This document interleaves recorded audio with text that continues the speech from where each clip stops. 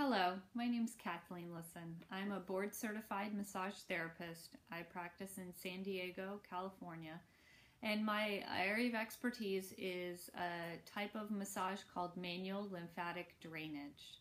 And this type of massage helps to reduce edema, reduce swelling after surgery, including plastic surgery.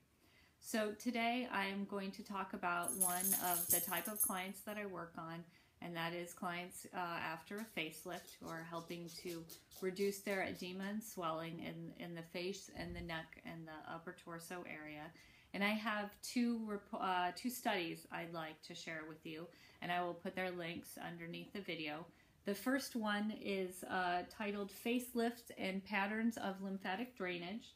This is from the 2012 um, Aesthetic Surgery Journal and the authors are physicians. They are um, Dr. Meade is in private practice in Dallas, Texas, the lead author, and there are also um, other authors are assistant professor and professor emeritus at the University of Texas Southwestern Medical Center in Dallas, and a faculty member of Baylor University Medical Center in Dallas.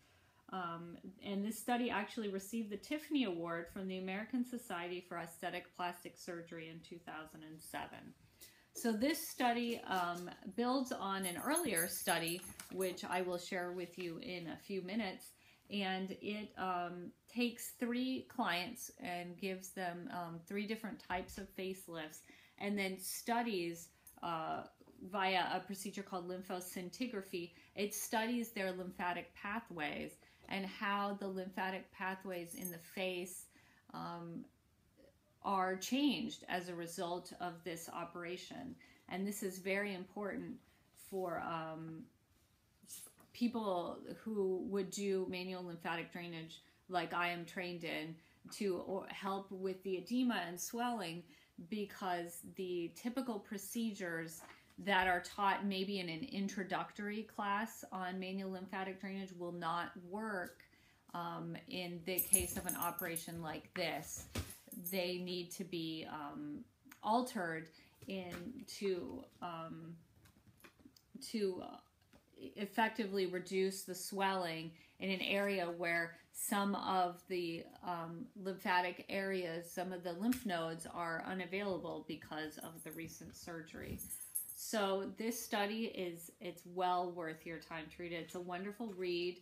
Um, it gives a lot of information about the lymphatic system, and um, very interestingly, it shows pictures of how the the study, the research that they did shows that the lymphatic, the lymph nodes are impacted as a result of um, facelift surgery. And this is valuable information for um, someone like me that is doing the manual lymphatic drainage because then um, armed with this information, I know how to change the usual type of massage I would give to more effectively reduce the edema and direct the swelling towards the lymph nodes that are still working in the face and the head area. So their conclusions, um, they, their results of this study was that all the techniques, um, all their different techniques, appeared to all temporarily create a significant and similar degree of interruption in lymphatic drainage. So that's why you see such swelling after the facelift procedure because there's an interruption in the lymphatic drainage.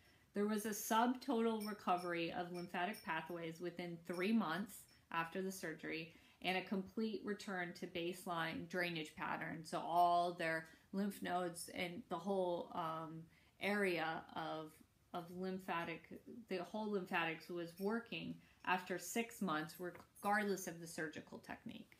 So that's why you'll see the great results um, in six months. You know, the edema should be totally gone. And, um, but before that, it's kind of like the rush is on.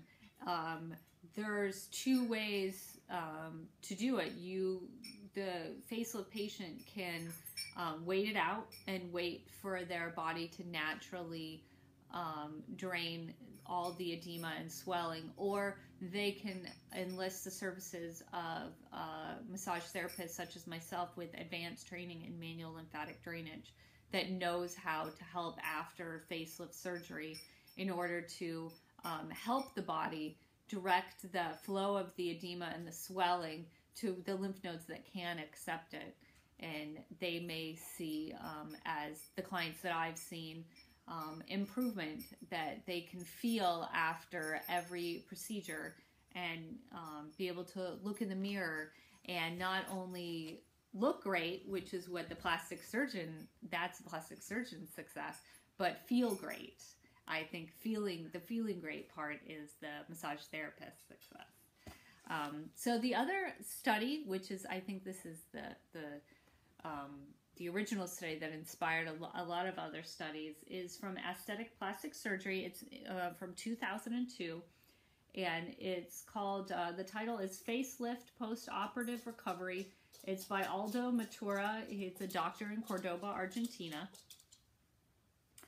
and um, this this study, this doctor um, looked at the lymphatics in one of his facelift patients, and some of the. Um, I think this is a wonderful study because the doctor really knows what the patient experience is and focuses on it in the study. Um, if I could quote, uh, he says, The worst moment for the patient is the post operative recovery. Pain, swelling, and bruising are the main reason. Some persons are afraid of these consequences and prefer to avoid surgery.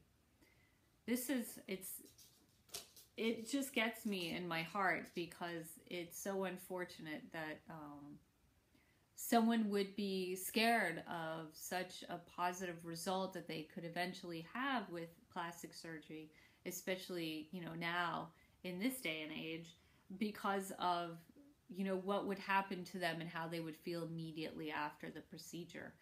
And this is i think where a massage therapist who has the advanced training in manual lymphatic drainage can really help. They can really um, be somewhere that the patient can go to feel better. The procedure is um, I, it's it's not even a procedure. It's a beautiful spa like treatment offered in the comfort of their own home they don't have to go out or, you know, see strangers or go to a clinic. I can come to their own home and, um, you know, the, the massage itself is extremely relaxing. My clients regularly go to sleep on the table and just wake up relaxed and they feel better and the, the neck feels better and the face feels better and I, I think they feel better about themselves. So, um, I would recommend also reading this study. It's um, very interesting and it has some wonderful pictures. And he's very, the doctor is very specific about um, his findings and how that helps the manual lymphatic drainage therapist. Um, here's one of his pictures. Now, and this illustrates someone with a limited training in manual lymphatic drainage. This is um, what is taught in the books. This is how, if there is no surgery, these are your pathways and these are your lymph nodes and how the normal drainage is. And then after the surgery, the pathways are different. Um, we have to go and push the edema into different um, lymph nodes in the face in order to um, make the biggest difference in in um, edema. So both these studies are wonderful. I would highly recommend reading them um, if you're interested in the lymphatic pathways or if you're studying, um, you know, doing your research as a good consumer before getting a facelift, uh, maybe here in San Diego, or maybe you live in San Diego and you're traveling. Um, we have some of the most wonderful surgeons in the area and nearby, I think, in the world um, to do your facelift for you. And so, if you're considering doing uh, manual lymphatic drainage and um, being proactive and doing everything that you can in order to um, recover as quickly as you can, safely as you can, um, enable your body to become healthy again as soon as possible after the surgery, consider manual lymphatic drainage. Have a great day.